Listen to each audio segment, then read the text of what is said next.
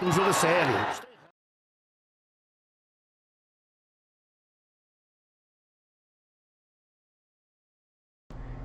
From the camera. Let's see, let's try microphone.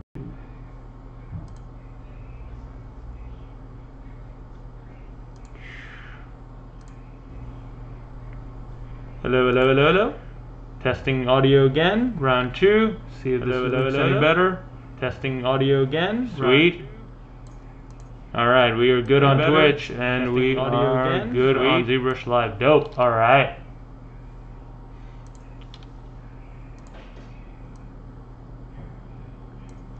Hey everyone, how's it going? My name is A Joker. No, my name is uh, Aiman Akhtar. I'm a 3D artist in LA and I do a lot of 3D printing. So I tend to 3D print a costume every year. This is the Joker mask I was working on in my past two streams. Nick Bowen, thank you. I hear you. Sweet. Audio is good. Thank you for confirming, Eugene. All right, so let's get this uh, ZBrush stream on the way. Thanks for joining. All right, so I just uh, commented on Restream. I'll be checking the chat log here, so you can type in YouTube, uh, Facebook, Twitch, uh, all that, and I'll be able to see and respond. Just double check everything's working well. Cool. Twitch is good. ZBrush Live is good. Okay, so let's start with the basics. Move this up so you guys can see me and maybe the audio is a little bit better with the mic here. So my name is Aiman Akhtar. I'm a 3D artist here in LA and I uh, stream for ZBrush Live, uh, which is why you guys are here. I've been doing a lot of 3D printing for the past uh, five years here in LA, large scale stuff, small scale stuff. So uh, you can see more of my work at aiman3d.com. And see here. Latest project is Fungusaurs. Uh, I've been working on this for a few years now with my wife Fa. Uh, she's the art director for the project, and I'm doing development. We've come up with our own line of dinosaur mushroom hybrid creatures that we're developing into an IP, so we can make uh, toys, games, and animation with them. So we've got the toys already on sale. We take them around to take photos. We've got an AR game in development.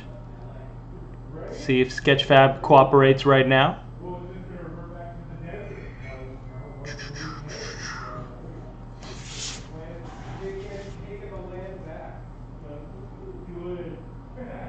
There it goes. Those are the little fungusaurs. If you'd like to support that project, you can follow us on Instagram at fungusaurs. And check out all the progress on these critters. There's the Instagram at fungusaurs. And like I said, I'm a presenter for ZBrush Live, so every week or so I do some sculpts and show you guys my process. Um, there's a lot of awesome artists on here: Shane Olson, Ashley Adams, uh, Tomas Whittlebach. If you're into jewelry, uh, you can go to pixologic.com ZBrush Live presenters to check out everyone's stuff. And if you scroll down to my name right there, you can see some more of my work. So there's the Fungusaurs, the mystery box toys that I developed with my wife. There's a costume. This is the first 3D printed costume I made actually for uh, 3D World magazine. All these parts are 3D printed. Jewelry by Igor Nesevich. Uh, some of these larger pieces were printed by Shapeways, and then the smaller stuff I printed on my Form 1 Plus at the time.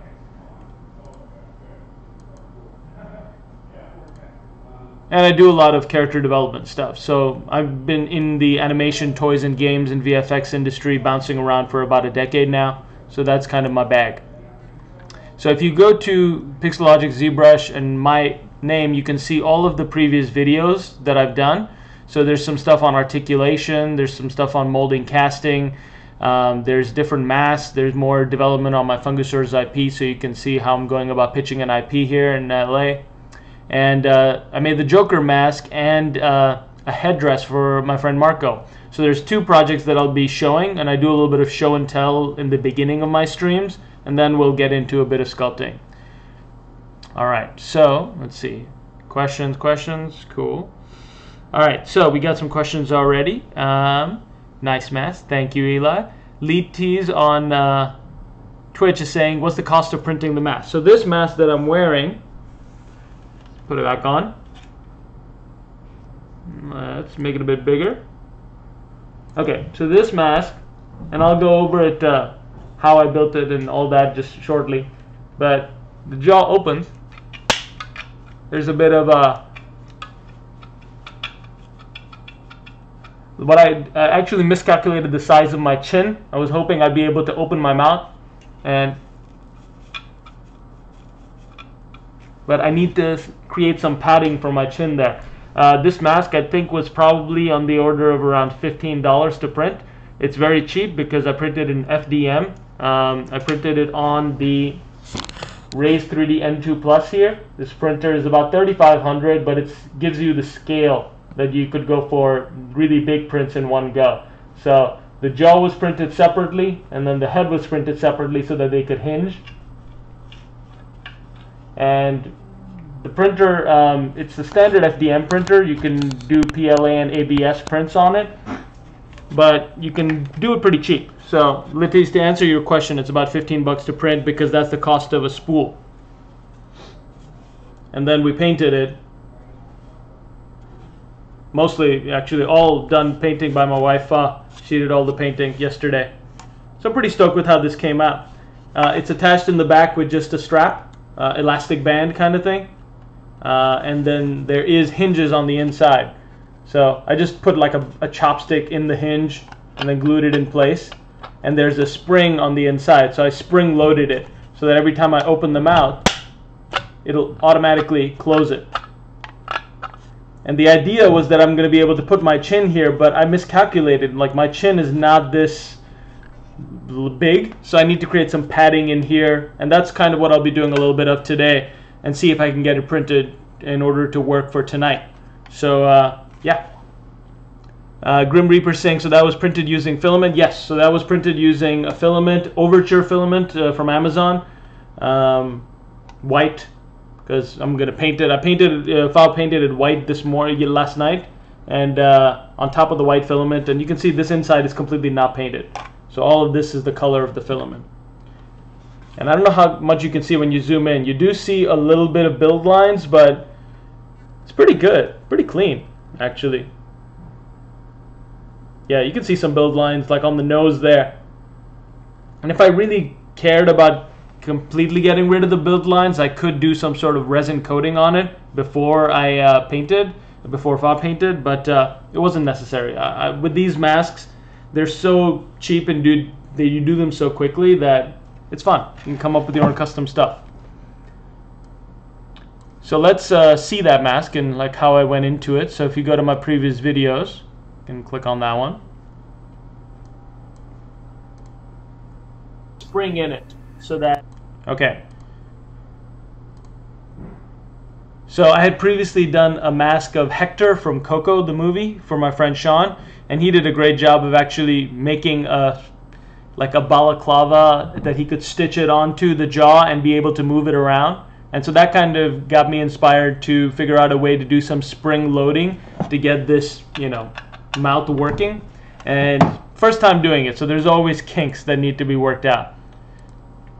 So I had a scan of my face and I started with the Hector mask because I already had the scan uh, at the correct scale and then the mask I just started sculpting it in place.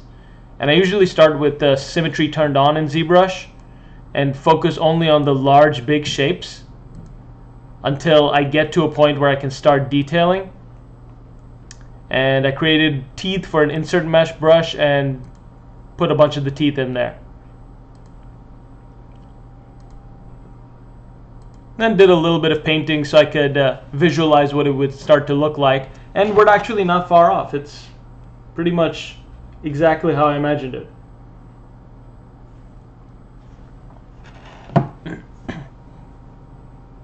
So I wasn't able to show you guys the engineering of it uh, in ZBrush last time because uh, in my last stream I was just sculpting it.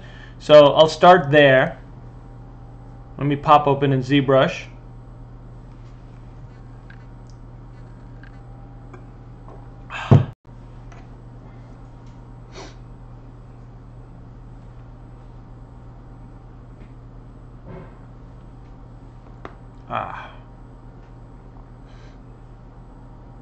All right, cool. Let me also move this over to the other side.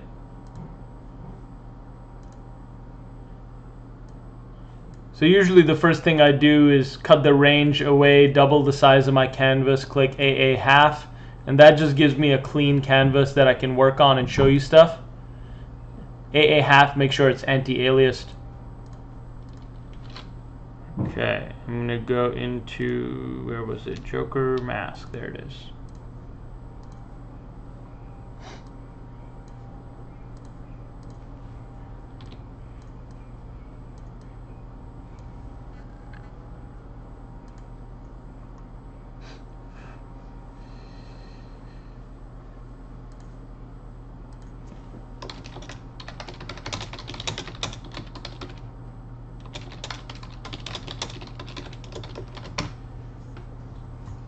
Okay, great. Let's put on some music.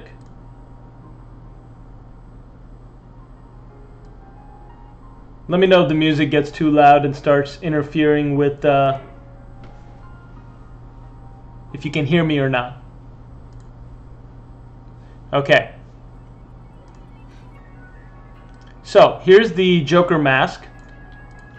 Like I said, built on top of a scan of my head. This was done using 3DMD scanners pretty quickly.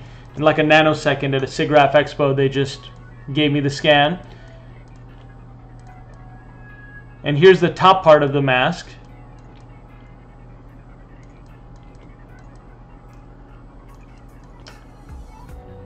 So you can see how the hinge was done here.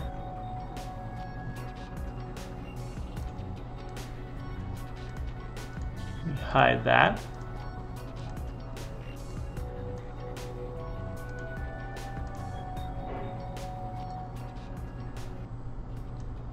Turn the music down a bit. Okay, so the hinge is basically straightforward. I boolean booleaned it out. There's a I don't know what to call it, a cylinder that is there uh, keeping the jaw in place.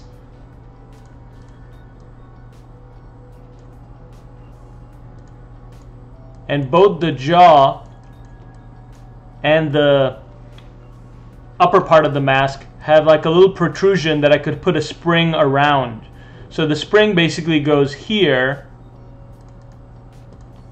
And let me hide half this mask. Turn on double-sided. Maybe a bit more. And a tad more. There we go. So you can see how there is protrusion sticking out of both ends that I put a spring onto. And so the spring is compressing inside there between these two points, right there and right there.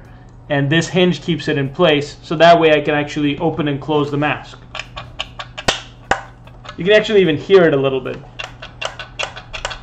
So I might actually WD-40 it so that there's uh, less sound coming out. But that's the basics of the engineering, and then I decimated it. So this is about 129,000 polys.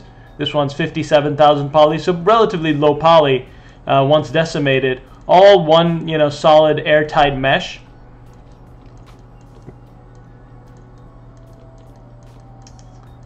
And the mistake I made is that I created too much space right here in the chin cavity. So my chin, which was supposed to rest on the bottom, it doesn't. There's a lot of space right there. And maybe I could have guessed it because the scan here. Let's see. See if I can hide some stuff here. Double side that. So hard to guess because according to the scan, my chin is basically right there. But when it actually did print out, there's a lot of space under here. Like I could stick at least like my fingers twice in a row above that chin. So that's what I'm going to do a bit today. I'm going to create a bit of uh, padding here for the chin and I'll 3D print that out so I can, you know, glue it into the place in the mask and hopefully the mask will function fully. Like when I open my mouth, the mask will also open. So I'm going to do a little bit of that today. And I'll show you the other project that I did in my other stream. That was last week's stream.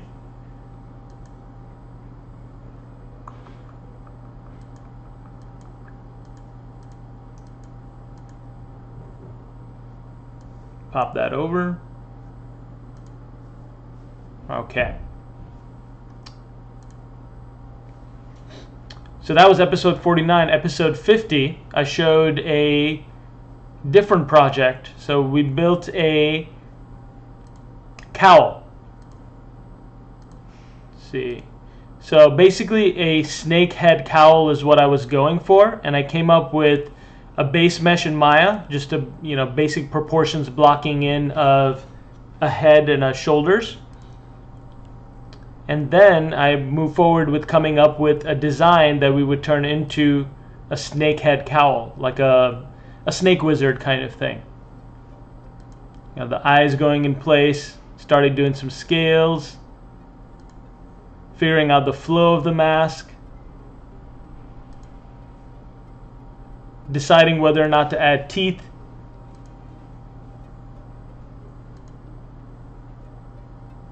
And some doing some basic texturing around.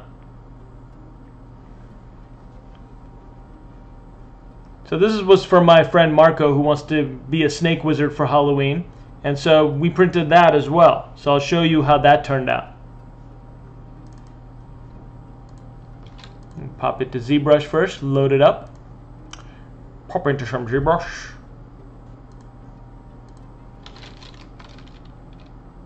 What are you all doing for Halloween? Or do you celebrate Halloween? Or is it even Halloween where you're at? I don't know if you guys are tuning in from halfway around the world and it's already uh, November 1st.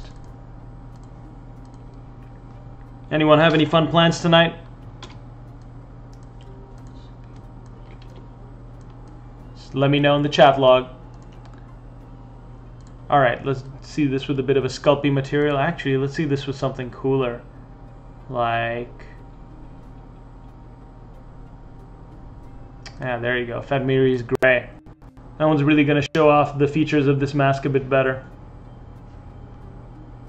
So there's the finished cowl. I sculpted in a lot more scales. And pretty much still like a one-day project. And I keyed it so I split the mask in half and keyed one part to be basically the male and the other part to be the female where the key would go into it and it would still be pretty comfortable to wear. So basically just a two-piece print and this was all printed in one go on my Raise 3D, the big printer here. Um, in two parts. So first I printed this side, then I printed this side, and I can show you what those look like too now. Let me pop this open a bit. So here we are. Here's the prints of the Snake Wizard cowl. All done on the Raise 3D N2 Plus also. I find it really great to print uh, in FDM for prototyping, especially large stuff, because it's cheap. So this was basically about like, you know, 30 bucks or so because they used two spools of filament. And it's a big print. So just by comparison to the Joker mask, let's see if I can put this down. So it's about like volume wise the same as the Joker mask. Let me go over this way. Maybe even like slightly larger and printed in two pieces. So the range you can do with 3D printing, that's why I call this uh, stream 3D printing ideas to reality. Because neither of these things existed a couple weeks ago, and now they're real physical items that can be worn and interacted with. So that's really why I enjoy it so much, and you can you can do as well as I. I mean, it's nothing that is extremely complicated. It's just you have to understand the workflows and processes, and then think like an engineer a bit and there's always problems. So I'm going to show you some of the problems that happen in the stream and uh, how I go about solving them. So this is basically designed to go over the head. Let's see if I can put it on, sort of, like that. Hard to tell with the lighting the way it is in this room. But this has not been glued on yet. It's just kind of hanging on. And we're going to finish the mask today by uh, epoxying it together so the key is closed and then filling in some space. So there was an issue when printing this out uh, that caused it to slide. I don't know how else to explain it, but uh, there's these little gaps that need to be filled in. So you can see the gaps in the webcam there. And so even the key, even, even though the key is pretty perfect, uh, the print when it was actually printing, Let's see, because I printed it like this. Basically, it started printing just fine up till here, and then it jumped a little bit to the side. And so what that did is it created some lines here. Uh, hard to show you. There. You see those lines there? Like that one right there? So that line, and basically by shifting all of it a little bit, it also shifted the key and like the placement of it all. So there's a little bit of like stuff to fix. You can actually see it a bit better on this side. So there's some shifting here too, which caused some ridging. And shifting can happen in 3D printing. There's no real way to completely avoid it, but I could lube up the uh, the rods a bit more, and that would help. Uh, I'm hoping. So, but basically, I'm just going to sand it down a bit and put these two pieces together and epoxy them to fit, and then I might fill in the gap with a bit of uh, like a hot glue, and then spray paint it all, and so it'll be like a finished thing. So if you're interested in 3D printing, please get into it. It's really fun and really cool, but it's also not a one-click solution right now. There's always problems, there's always stuff that needs to be fixed, and it's very much a craft solution at the moment. So you have to be a craftsman and think like an engineer.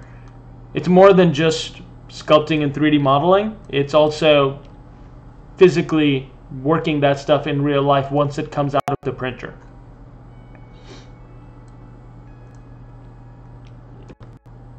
I think I can try to explain how the shift happens or what happens when there's a shift. So this is decimated, so it might be a bit harder to show, but I'll try it anyways. So when a shift happens,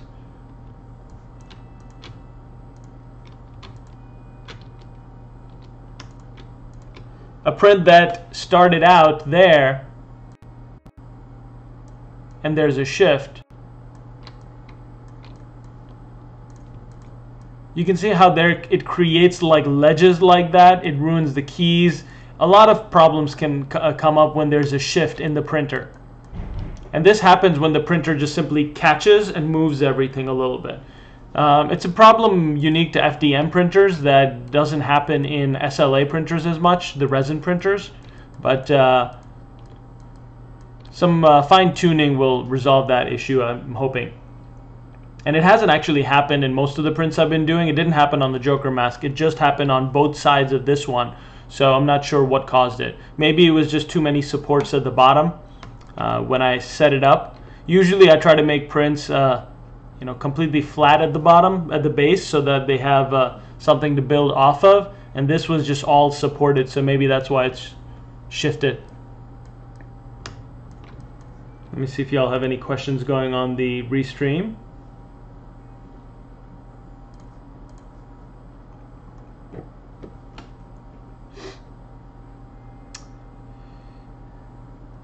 Grim Reaper saying, I think you should have cleaned up the scan mesh a bit. Possibly. Um, you don't really need to have like a beautiful scan in order to build on top of it. Uh, I wasn't going for a portrait of my face, just functional things to build new stuff. Grim Reaper saying still Halloween here, nice. October Burn saying anyone else suffer from procrastination? Everyone. I mean, I know I don't do anything without a deadline. So I force myself uh, deadlines by telling people like yourselves, I'm going to be doing something by X date. And then I have to do it to try to pull it off.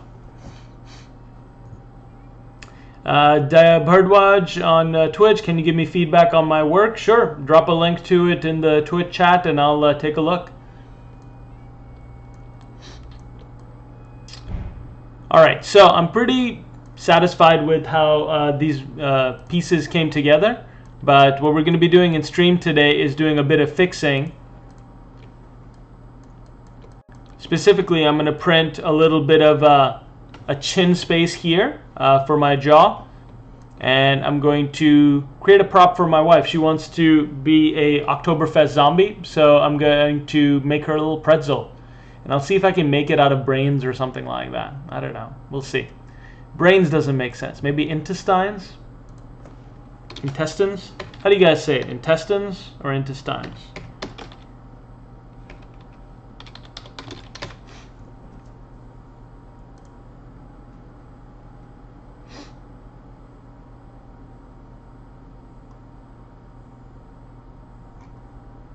Just googling intestines on the other uh, screen. Not a very safe Google.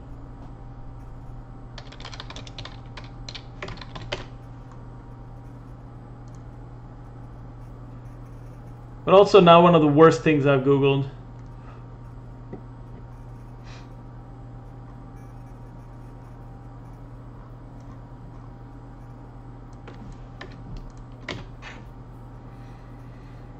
Let's see, also Googling pretzel. So that'll be the second part of the project. Making a pretzel like that. And I think this should be a relatively quick print that should be done within the day. And a simple, straightforward model.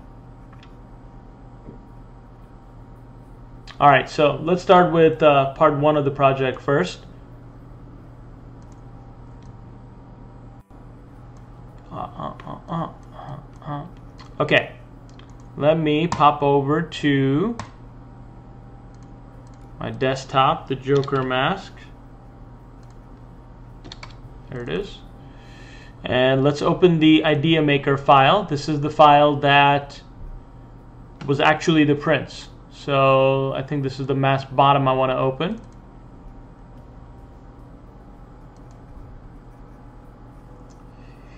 Grim Reaper said intestines is how it's pronounced. And cool, intestine works. Um, Erisvanophilia on Twitch says, Where does Bretzel come from? I'm not sure. Um, I always thought of it as a German thing. Let's see.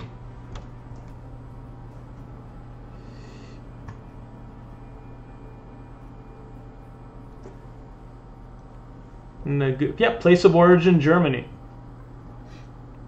It's fitting. Sounds German. Bretzel.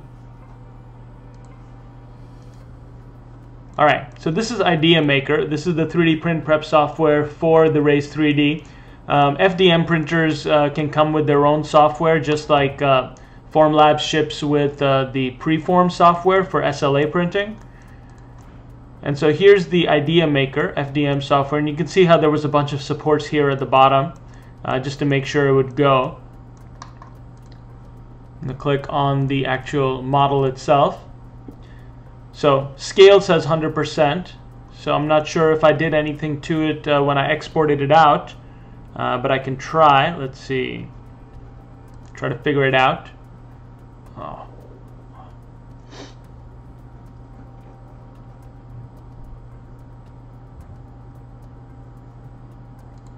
Let's go into ZBrush. Usually when I export these things out, I merge visible. So I merge the top and the bottom together and I export it out together and then I separate in Idea Maker or something else like Mesh Mixer. I'm just trying to retrace my steps because I did this two or three weeks ago. How I put it together uh, scale wise. Because if I printed with the wrong scale, there's no point. You know, the easiest way actually is to take this jaw, because I know this is at the correct scale. I'm going to go support, remove support, or clear. Let's rotate this 90 degrees. It's kind of vertical.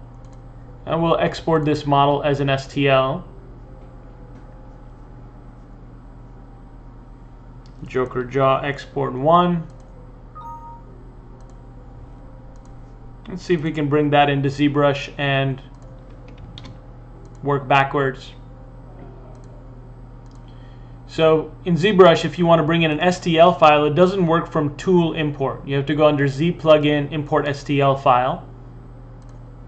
And I'm going to scroll over to my Joker scene. And the file that I just exported was Joker Jaw export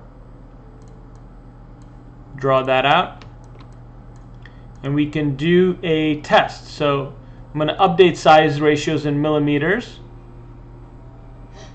Let's see, this one sounds right. And let's test it. I'm going to export it out of here in ZBrush.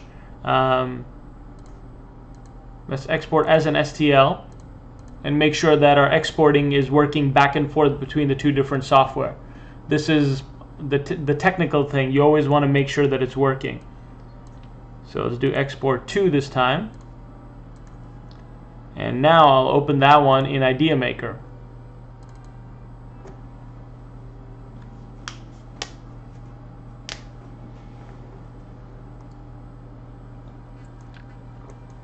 Alright, so now I can see that the scale is correct. This is the size I printed it before. So now if I make any adjustments to the chin here or um, any fitting in, then uh, filling in, then it'll, uh, it'll be the right size. Okay, so then I'm to pop over to ZBrush and I need to figure out how much space I want to fill in on this chin. Usually with 3D printing, the first prototype isn't good. You always need to do multiples.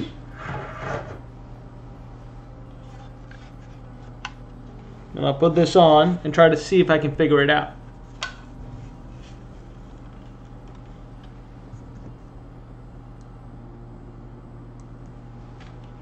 Kind of worked out because my hair was already greenish to begin with. So I think this mask looks pretty good. Alright, so what I'm doing right now is just measuring with my fingers there's at least two stacked finger space uh, from the bottom of the mask to my chin. And the actual bottom, this space here that I thought would be enough for my chin to be on, there's not enough space. So I actually need to somehow pull this back further. So from here to like about there. So I need to basically add some thickness and some distance.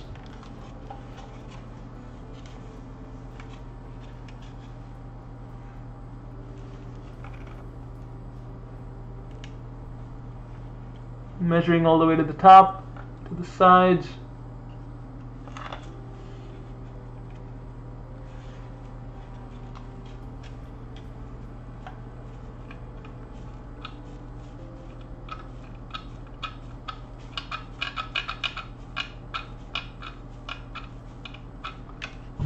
The whole idea is making that jaw movement. When I open my mouth, it actually opens its mouth a lot more uh, user-friendly. So basically increasing the user experience by better spring loading. And this is good to do with uh, a mask, something that you want to be functional. So the easiest way to do this is I'm going to go to my mesh here and right now it's decimated so I'll start by dynameshing it so it'll go from 57,000 more resolution to about 400,000 but at least now it's like solid and I can start by maybe dropping an insert primitive insert mesh sphere on there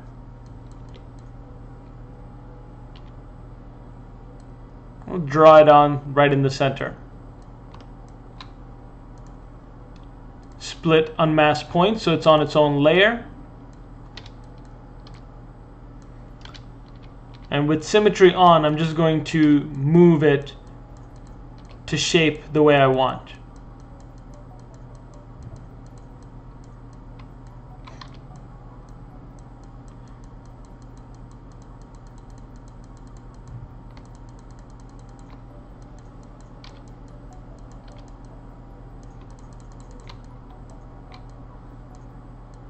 So we're extending the bottom so there's more chin rest so it functions better. And we're basically trying to fill this in.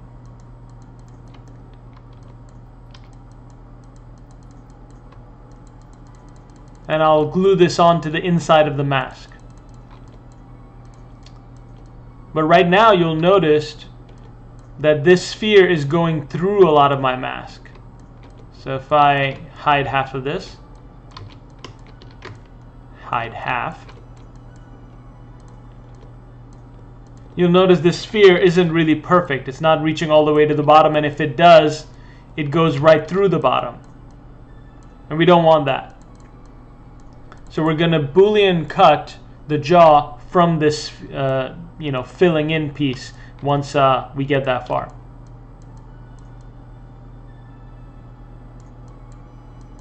I want to make sure I don't take away too much space.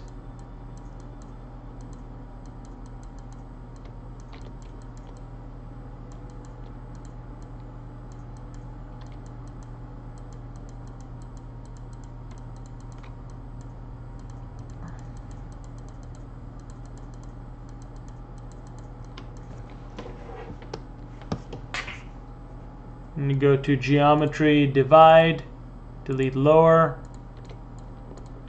see that again. And we can actually do it right now. We can bring this mesh below our mesh, set it to be a cutter, and go to render booleans live boolean. And what this will do is it'll cut it out and it'll show me the cutting out. So it's going from basically there to there. So that's the shape we'd be 3D printing. And I dig that. And I dig that ZBrush can like build on prototypes just like this.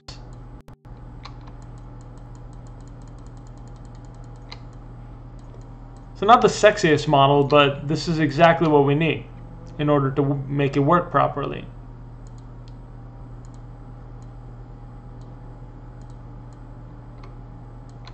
Now even though this is symmetrical, I want to make sure that I'm using every inch of space in there so that when it does cut, cuts it evenly on both sides.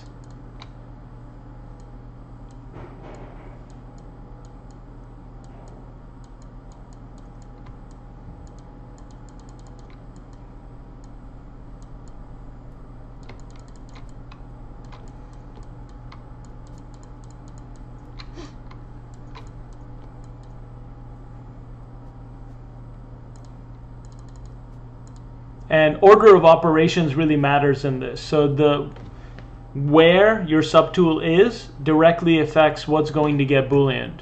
So right now the jaw is here, the boolean cutter. So if I move another jaw that's not a cutter at the bottom, this boolean won't affect it. It only affects what's above. So I can see both of my meshes at the same time then.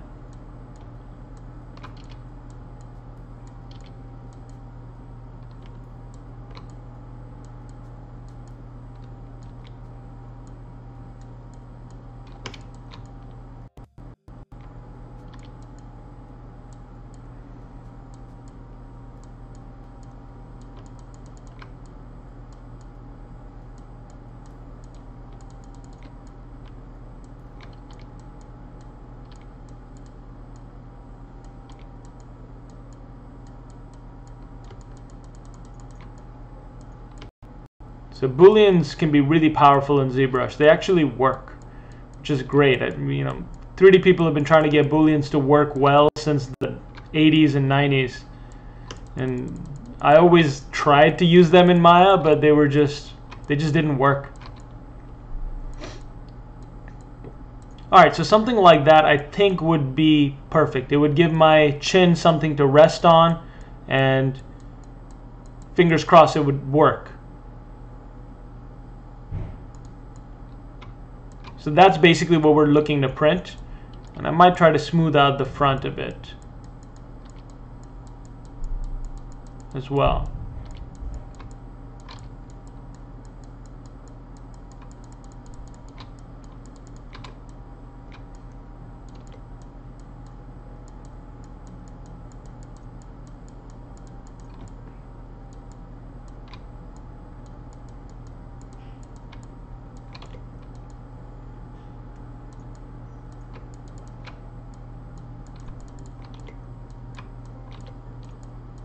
All right.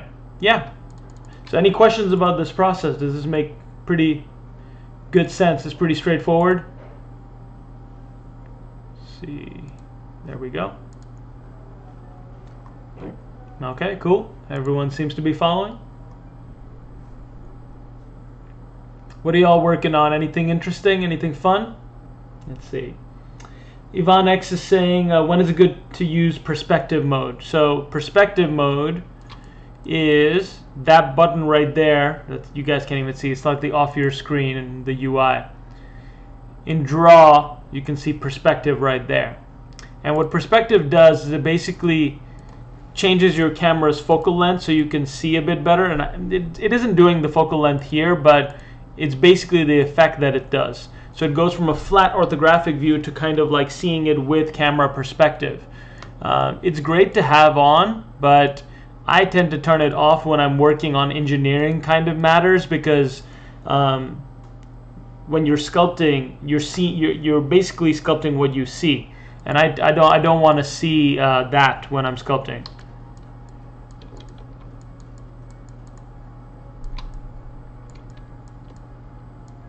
Alright, so I'm pretty happy with this. I'm gonna clip a little bit. See what's happening. Clip that piece a little bit.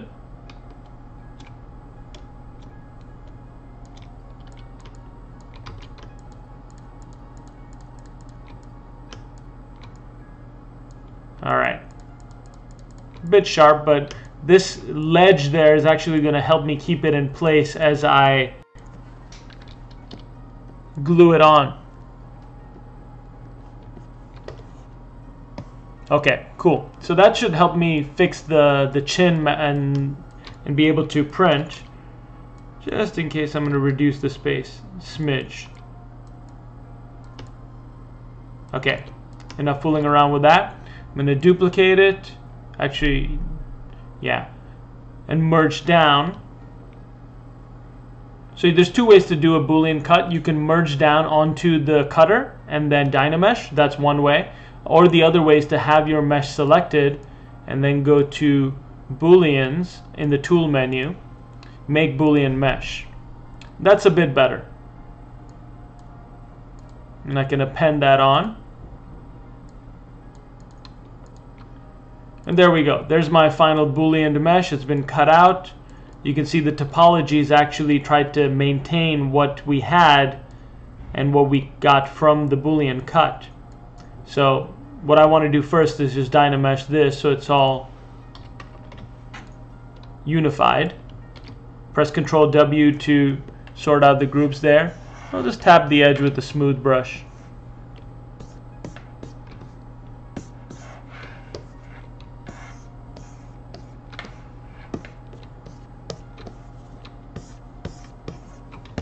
Dynamesh again.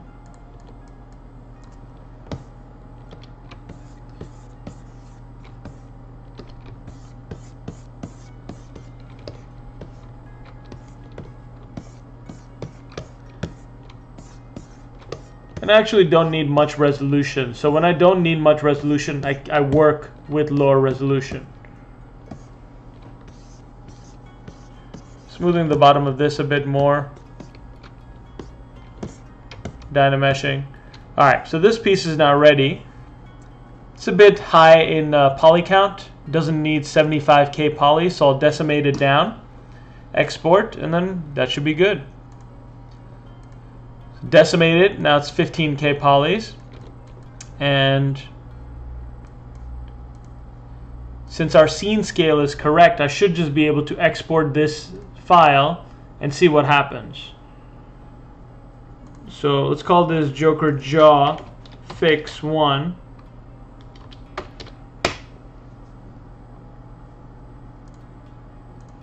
And see what it does. I'm going to go to my idea maker scene with the jaw that I imported.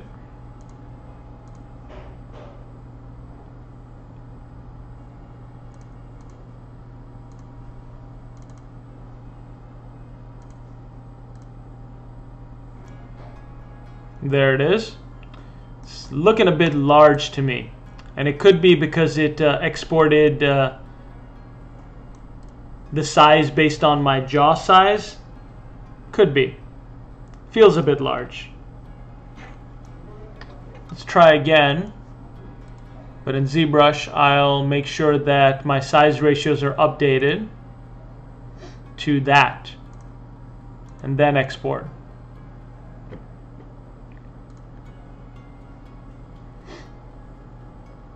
Joker Jaw Fix 2.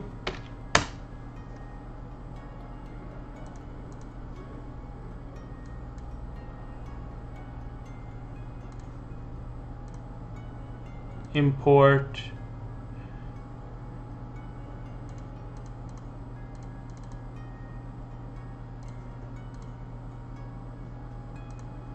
So that's feeling a lot better in terms of size and scale. But if I really want to be sure that it's going to line up and match perfectly, uh, what I want to do is try to export the pieces together. So I'll go into ZBrush. I'll click on my jaw. See, do I have the version of the jaw that is decimated still? Should have it in history. Eh, not there.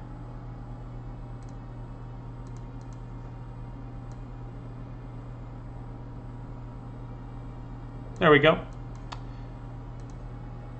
Turn that jaw on, turn this piece on. Update size ratios for the jaw itself. And in our settings, for export options, I can say not just selected, but all the ones that are visible. So that means every one, uh, every subtool with the eyeball on will get exported, and it'll try to line up the scale with the first object that I selected. So then I'll click Export STL. Joker Jaw fixes, so I can be very clear what it is. You know what? No. Let me change the names of it here. Jaw fix export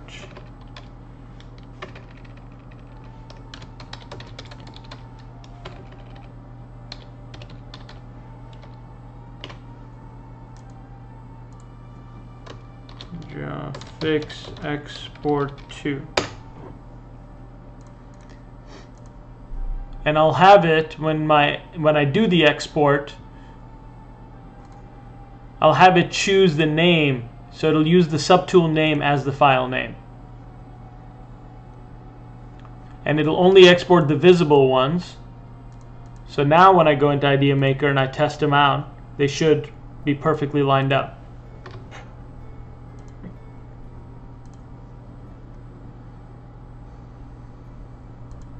So Joker Jaw Fix 1 and 2. So there's the 1. There's the 2. Nope. Selecting the wrong parts. Let's see. Here we go. Joker Jaw Export 1 and 2. So not Fix, but Export. But that actually goes to demonstrate a point. You got to make sure that your naming convention's on point.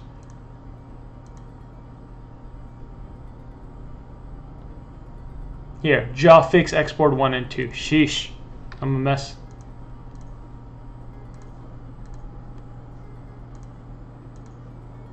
So there's the jaw, and there's the little thing, little insert that fits in. So now I know it's for sure the right scale.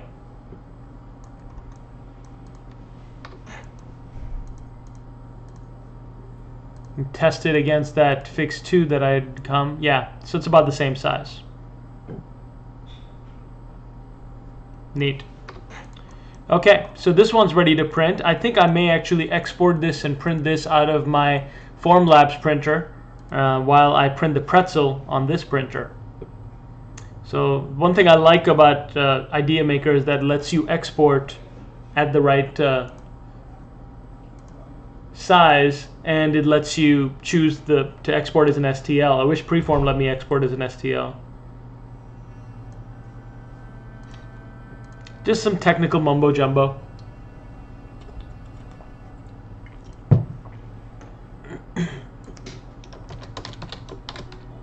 I'm going to change this, call it for form.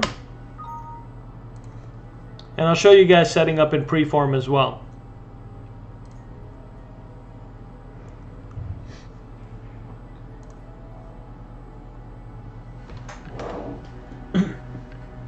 Eddie6699 saying I'm carving a pumpkin. And do you know how I can import normal map for an OBJ file that I bought in ZBrush? so I don't know a way to use normal maps to change your sculpt in ZBrush. I think there might be a way, but I, I don't know what that is. Uh, but I can show you how to import it to a normal map. Yeah, like the basics of it, sure. Uh, what is technical mumbo jumbo? it's just means that uh, I'm spouting technical words that don't really mean much unless you know what I'm saying. It's mumbo jumbo. Alright, so this is Preform, the print prep software for my Formlabs machines. I have a couple of Form 2s. Those are the orange machines that you see in the back there, SLA printers, uh, meaning they print in resin. So they print, um, they can print pretty fast. I'm going to try actually a new material that I just got called draft material. And draft is supposed to be able to print even faster and it can do up to 300 micron speed. And I've never printed in draft so I'm excited to try it out. I'm gonna bring in my mesh. So I have to find the file that was labeled for form. Open that up. There we go and printing for uh, in printing in resin you want to make sure that you have uh,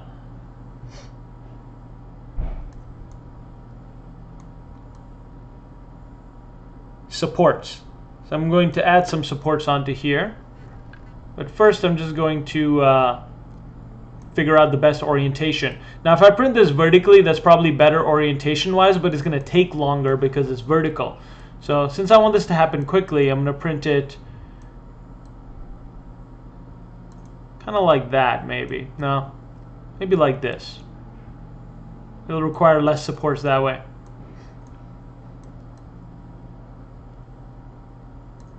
Okay. I'll click on the supports button and click auto generate with density. Let's change that from 1 to 0 0.7. Touch point size from 1 to 0 0.7. That should be good. Auto generate. And it'll do it for me.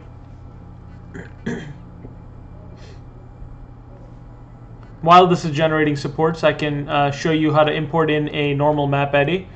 So the way it works is you import it in just like any other texture. So you go to your texture palette, you go to import, and let's say I've got this image, sure. So there's this image and it's brought in as a texture. Now I can go to whatever model I have under tool and normal map and then I can select that texture. So I can apply that normal map just by bringing in the texture. So you import the normal map just like you would any other texture, and then in normal map you select it uh, for your mesh. And then it'll work if you have a UV map. I don't even have a UV map on these, so it won't work. But that's basically how you import in a normal map. All right, here we go. Supports have been generated over here. Bit many, but let's see. Let's see what uh, it says.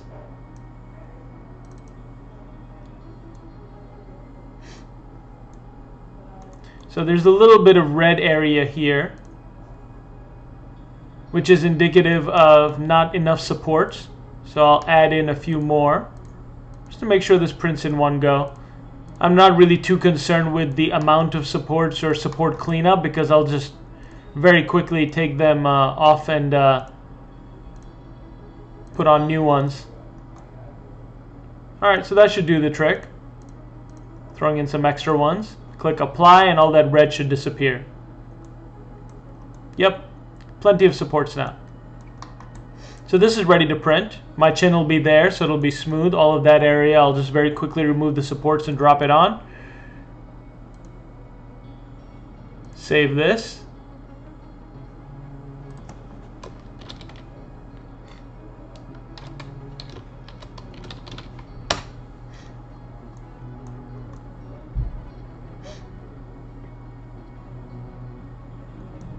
Still a bit of red down there. Let me adjust that, make sure that there isn't any. Not sure why it sees so much red.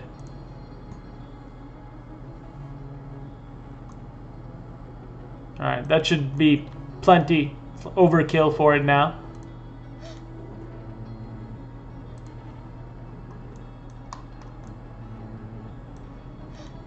Send it to the printer and see how long it says it's going to take.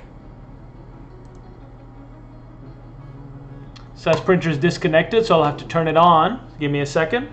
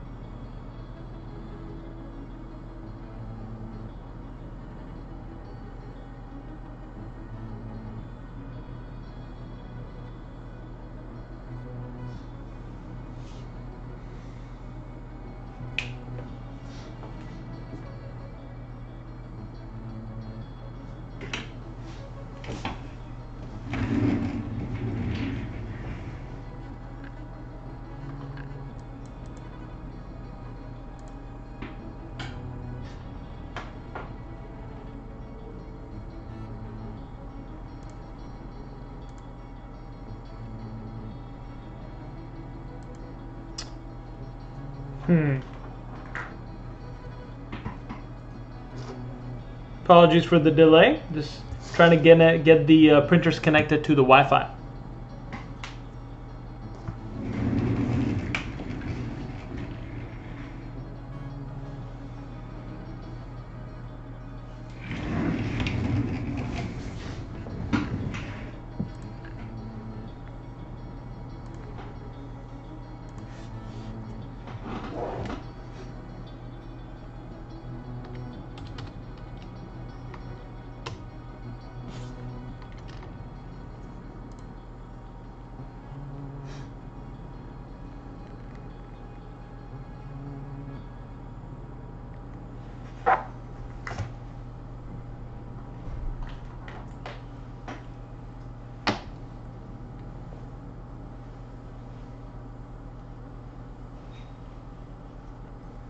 So we just set up a new uh, Wi-Fi modem yesterday, so the printers actually can't find it. Uh, uh, but uh,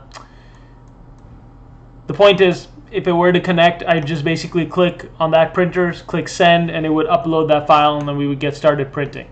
I'll do this after the stream. No need to bore you guys with the tech. Uh, we can get back into some ZBrush and sculpt uh, the other part of the costume for today. for my wife, who wants to be a Oktoberfest zombie, so I'm going to sculpt her a little pretzel. Now I might as well do it in this scene because I kind of have a sense of how big things are in this scene. So I'm going to duplicate that jaw fix. Dynamesh it. Maybe a little less resolution to start. And let's start making a pretzel. So I could start making a pretzel out of this one object. Just basically reshaping it into a pretzel shape. Or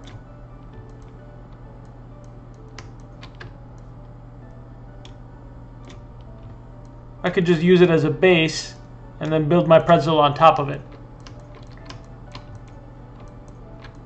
Okay, there's my base. And what I can do is use my, no, there's a million different ways to do it. Let's try the simplest. Samuel Vision saying, never seen a resin printer in action, totally interested in seeing this. Uh, I wish I could show you, but basically um, the Wi-Fi is giving me trouble. Um, the the setup of a resin print is the same as the setup of any other print. You get your model in, you add your supports, you pick your orientation, and then you click print. If you're interested in resin 3D printing, uh, you should check out uh, the Formlabs machines. There's uh, a new one out called the Form 3 now. You can check out the videos there. And you can see kind of what it does. And how it works.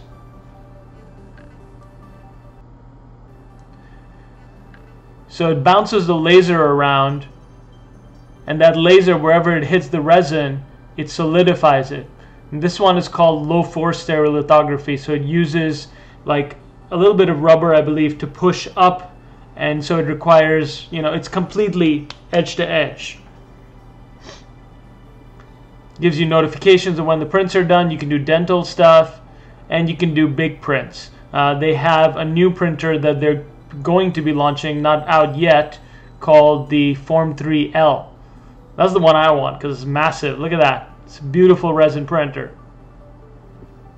But I believe these aren't out for sale just yet.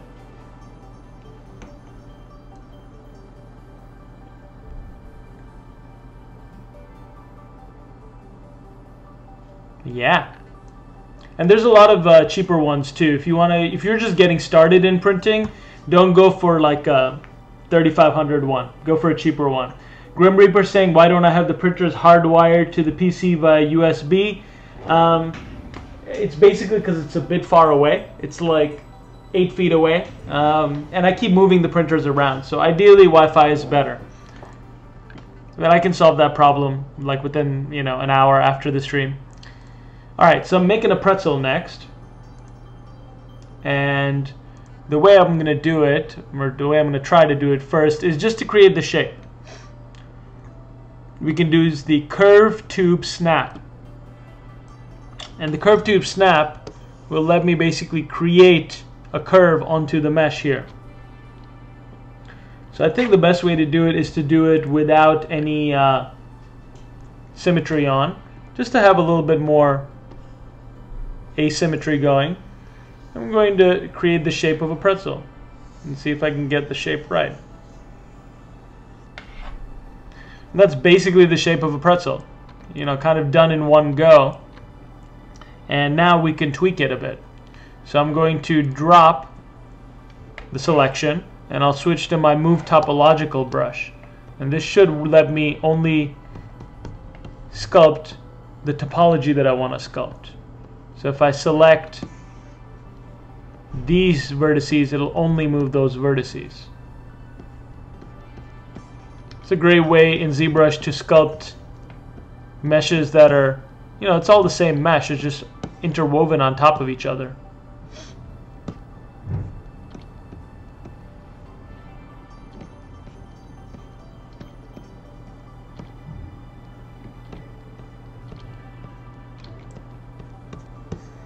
Now, basic pretzel is a bit simple, and I don't want it to be just so basic, so I'm going to try to see if I can make it more interesting by let's see if we can make some uh, the pretzel like like an intestine or intestine intestine I think that's what we had decided earlier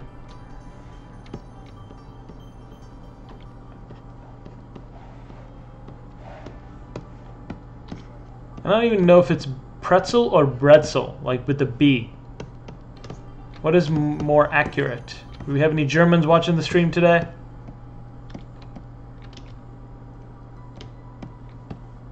Alright, there we go. So there's our basic bretzel. I don't know why I said it like that. That's more of a Russian accent than a German accent. Accents are fun though. I'm to divide a few times. Let's see. Let me split my subtool, split unmasked points. Then I'll divide it. I'll divide smoothly. Delete lower. And I can keep using my topology brush and it should still work well.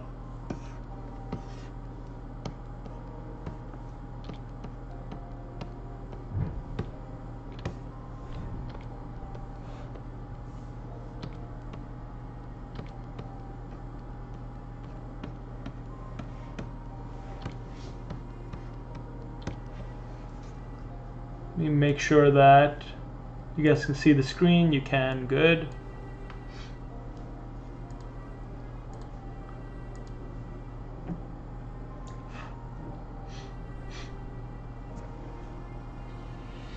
Grim Reaper saying, uh, bet that'll be rather expensive. Resin printers, yeah, the bigger ones can get very expensive. And printing in resin can get expensive at that scale. But you can't beat the resolution that you can get. Alright, now that I've got the base shape for this pretzel, I'm going to duplicate my mesh here.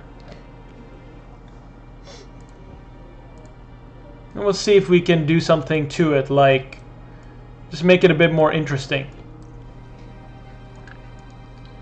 So earlier I was Googling intestines, and we can see kind of like the shape language uh, of what intestines look like.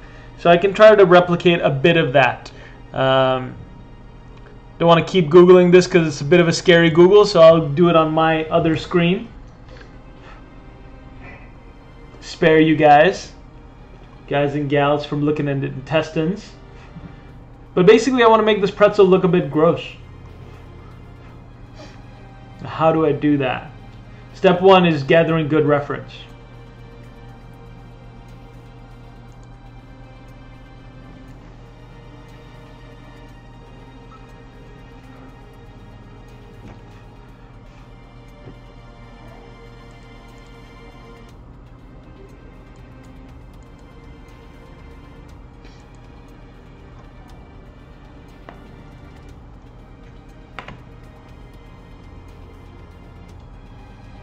Still looking for reference. Want to find like the the right surface texture that I'm trying to create.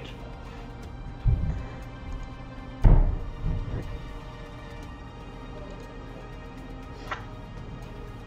think I'm just going to start by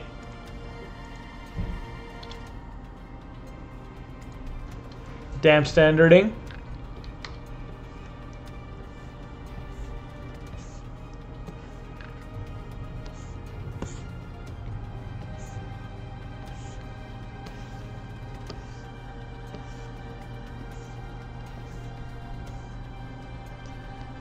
Creating a lot of bridges.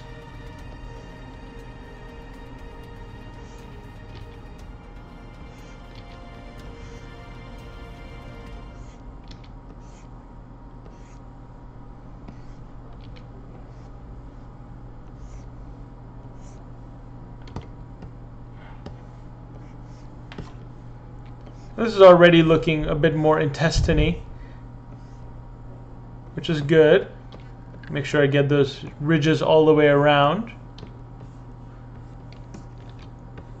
The whole point of 3D is making sure this looks good from multiple angles.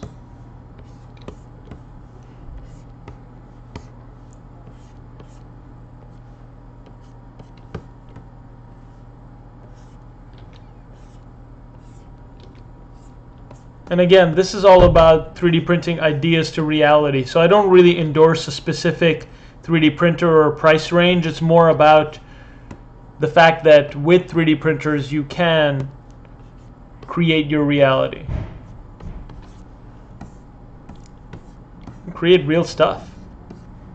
That feeling of uh, seeing stuff uh, appear that just was in your head and now it's real, that's still pretty magical for me.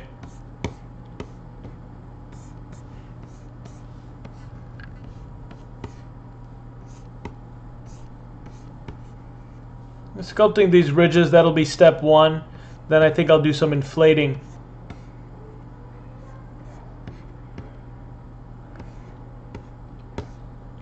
Might add a little bit of uh, wonkiness here and there too. Give it that feeling of intestinage.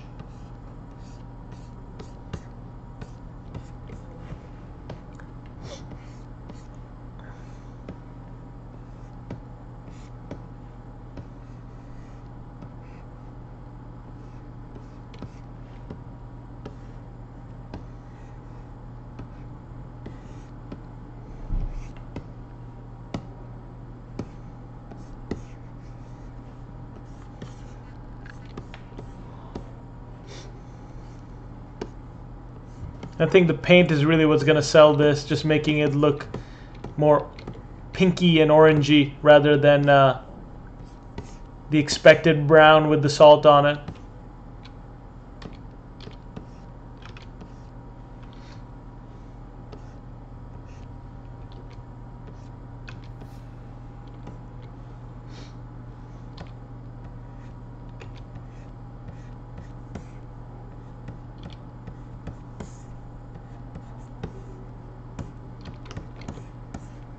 Trying something out, seeing like if we tweak one of the ends, but nah, just makes it less recognizable. Let's inflate now. Or selectively inflate certain parts.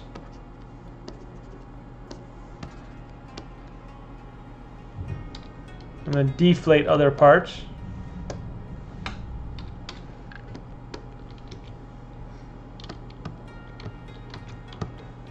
Deflating doesn't always work as well as inflating does. You could dynamesh it together as well now.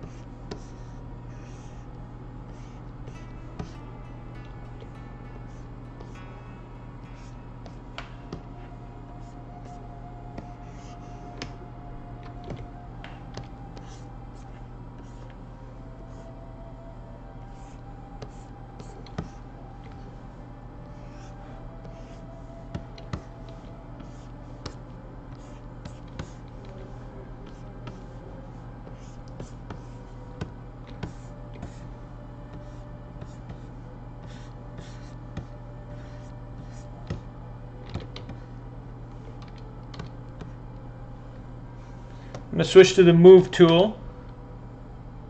And just try moving different parts and see if I can make it feel more organic.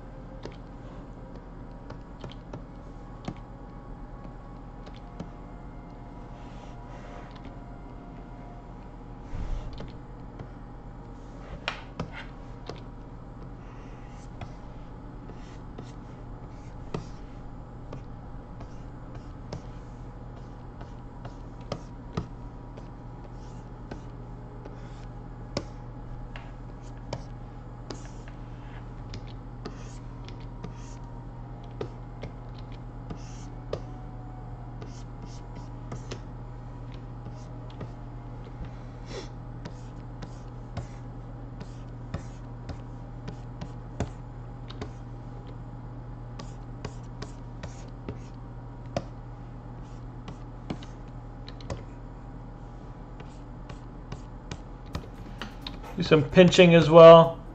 Tighten up some of these creases. That's feeling pretty intestiny to me.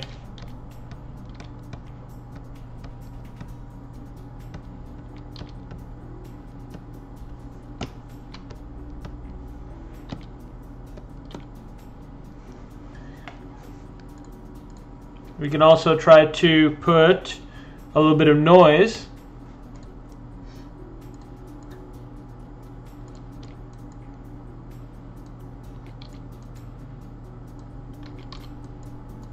And if you use noise at different scales and intensities, you can test out what it does. That just basically adds a little bit of unevenness.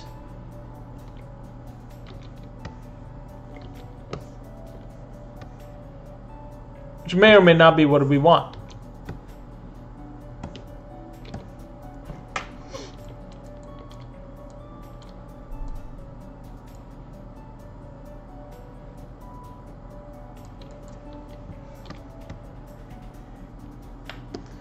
Might go keep it subtle.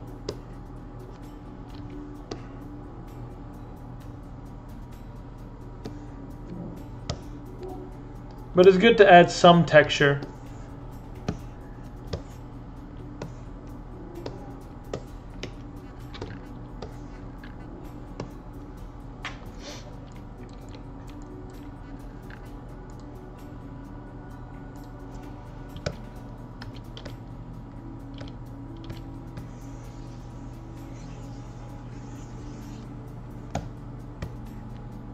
This out.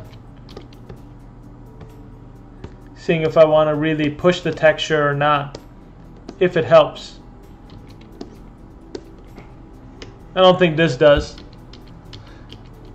That's the best way to do it in ZBrush is to just actually try things out and see if it works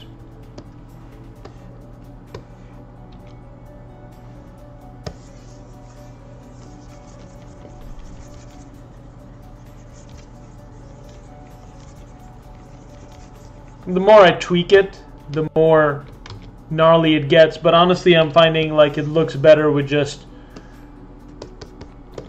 simple, simple, simple curves.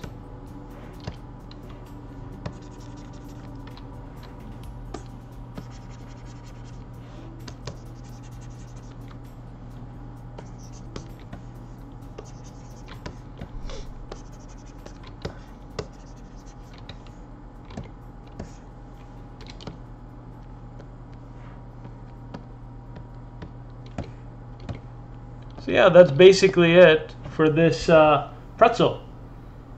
Let's see if y'all have any questions or anything going on.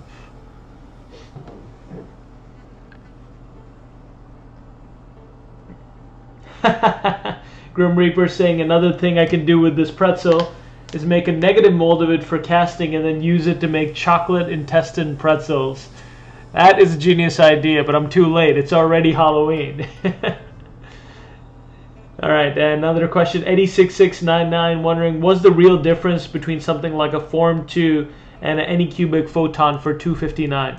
Um, so the question isn't really how different are the printers. The question is how different is the support. Uh, the support's in the machine, but the support for you as the 3D printing uh, artist.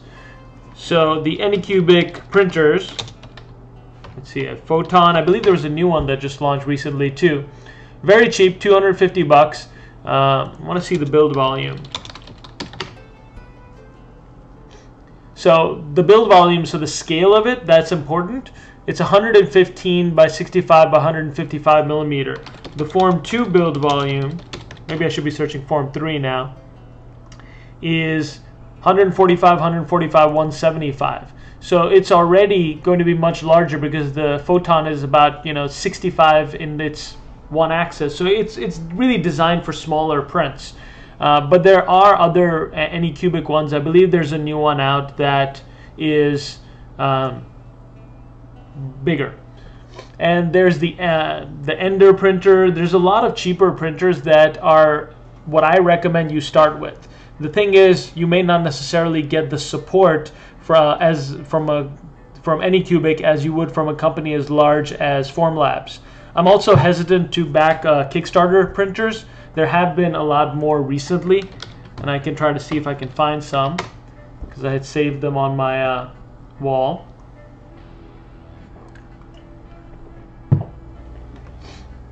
Oh, this is great. Here's the uh, Hector outfit done by Sean. So I did the uh, mask for him. of course, he's got the dog. But this is great. I'm, I'm, I'm psyched about how this turned out. His whole costume is dope. Alright, let me see if I can find those other printers that I can uh, tell you all about.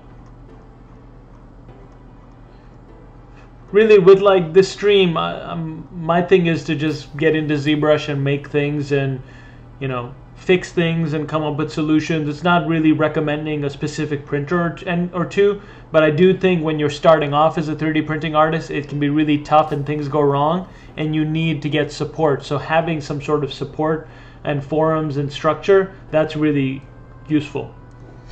All right, so here's some other printers that have been coming out recently. All right, so this one is the Peopoly or Peopoly Phenom SLA printer, massive SLA printer. Uh, this is, you can see it uh, there. There's also another one, the Phrozen Transform.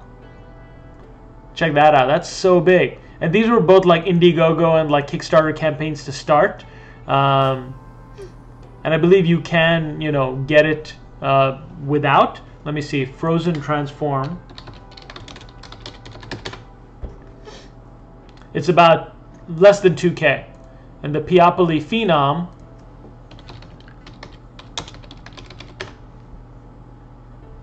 Let's see, is that even out yet?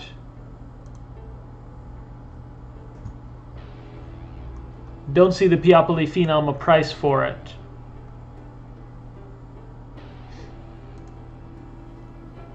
There we go, about 1800 So yeah, just comparatively, these are cheaper than the Formlabs machines. They're larger in theory, uh, but I don't know if you're going to get the support you need for when things go wrong. Um, one thing I do recommend if you're not interested in like, you know, getting the supports and you just want to uh, get into 3D printing, I teach a class called 3D Printing for ZBrush Artists online at Mold 3D. There we go. So you can take my class. It's basically 200 bucks for eight weeks worth of lectures. You're gonna get to learn everything I know about 3D printing. We cover um, slicing, keying. We cover articulation, jewelry and miniatures to fashion and wearables to large scale sculptures and uh, toys, toy prototyping. So I'll drop that link in the Restream chat and you can check that out. Printing class.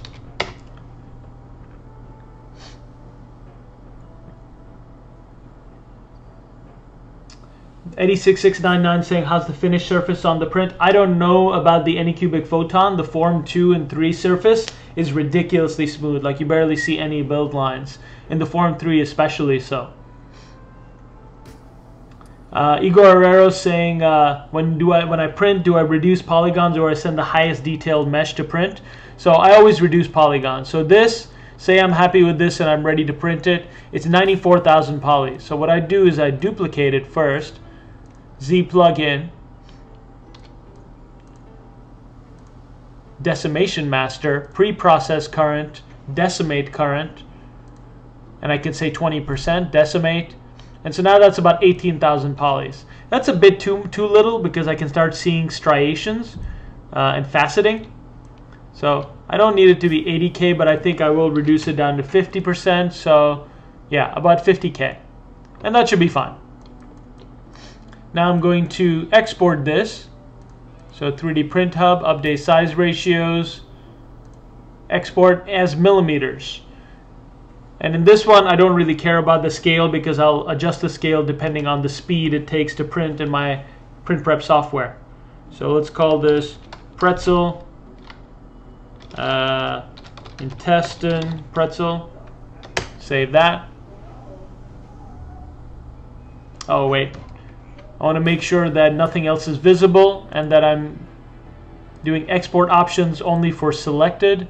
And now I'll do it. Up. Export to STL, not import. Uh-oh. There. Export to STL.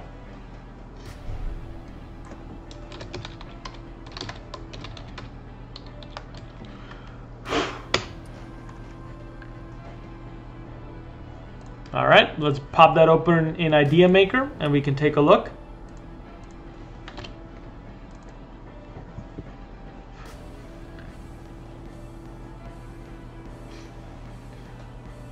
On YouTube, we got Chris Frieza, Frieza, Chris Freeze saying uh, the Prusa MK3 or their new Mini uh, is pretty good, and the Peopoly just released uh, 400 by 400 for 1800, so a larger printer.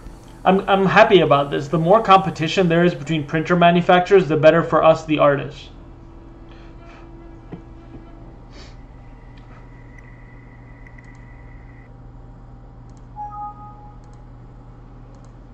Okay, and that didn't open for some reason. I'm going to double click it, make sure it does.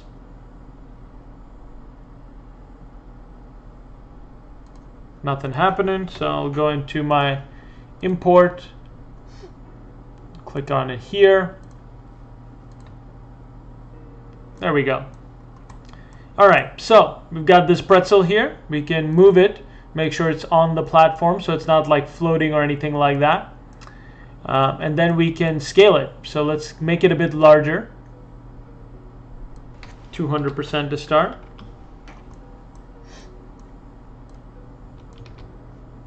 Move it over to the middle of the machine. And we can try to say slice. And the fastest speed, let's see what it says, how long it's going to take, how much it's going to cost.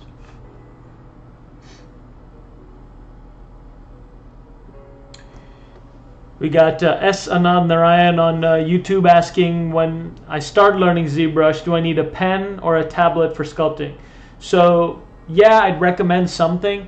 Um, it's hard to do it with a mouse, but uh, you don't need a pen. Uh, you don't need a Cintiq. Um, what I mean is you can use like a tablet. So you can get a cheap bamboo, bamboo tablet or a Wacom and then use that and then later get a Cintiq. So this one's saying nine hours, so that's a bit too long. So I'm going to make it a bit smaller. So scale, take that down to 150%, slice that again.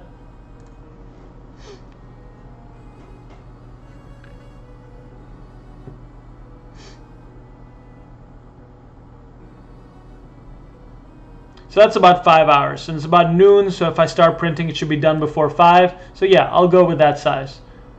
Call this intestine pretzel. Save that G code. And I'll, this one's easier. I'll pop it into my USB for the printer. And save it there too.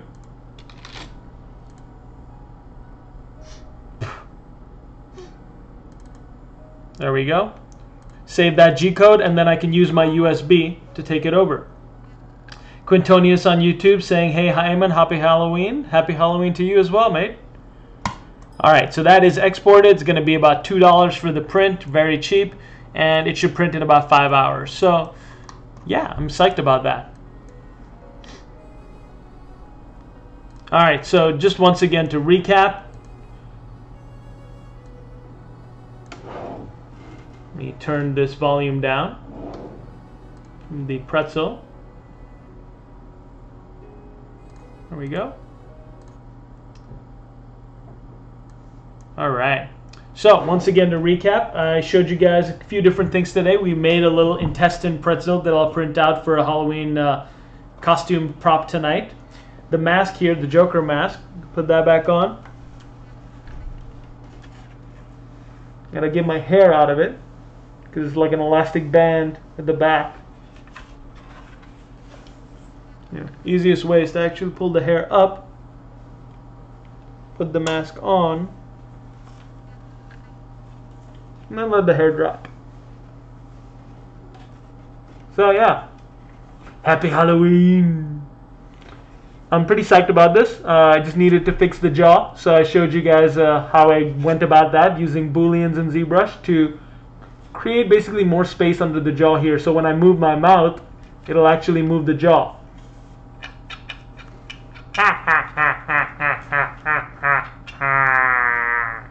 so yeah, pretty psyched about this mask. That's the uh, Halloween costume I'll be wearing tonight. I'm going to like a 3D printing party actually. Uh, MatterHackers 3D printing party in uh, LA. So check that out. And then the other thing is this cowl I showed y'all. So this is like a two-part print that kind of fits on like this. And I'll be fixing this up later today sculpted in my last ZBrush stream about a, a, week ago. And I'm pretty psyched about this too. I think this will be a dope uh, thing uh, for my friend Marco. He's going to be rocking this tonight. So yeah, two pieces printed in one go. All of this, like, there's no real reason to recommend one printer over another, but the Ray is the reason I like it is because it can print big stuff. So yeah, there we go. It's cool. I might actually make a staff out of this or something too. All right. So that's it for today's ZBrush stream, guys and gals. Thank you all for joining. Uh, once again, my name is Aiman Akhtar. You can follow my work at Aiman3D uh, and Aiman Akhtar 3D on Instagram. Uh, follow Fungusaurs because that's the project I would really like some support for at Fungusaurs on Instagram. And that's my little dinosaur mushroom toys, games, animation that we're trying to build. And I recently released a uh, keys and articulation brush on Gumroad. So if you're interested in learning more about you know how to use keys, it's only 10 bucks. I'll drop that link in the uh, restream chat. Keys and articulation brush. There we go. So yeah, you can check that out. And I already dropped the link to my class earlier, so you can see that if you're interested. That's the Mold 3D uh, class for 3D printing for ZBrush artists and uh, yeah, or you can just follow along with my streams. I tend to stream every week or every other week. Uh, the schedule for November should be going up soon, and we'll do some more fun projects then. So thanks again for joining, and let me see if there's any other thing. Nope, that's it. All right. Do this, do that. Let's put a smile on their face. See ya.